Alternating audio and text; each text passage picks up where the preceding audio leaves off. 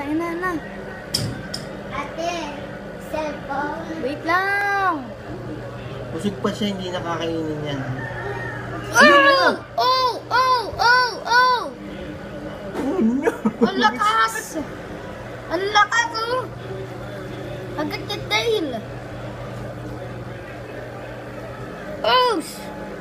Nawawala ka. Oh! They freaking ate it! Oh, I can see the head right over there.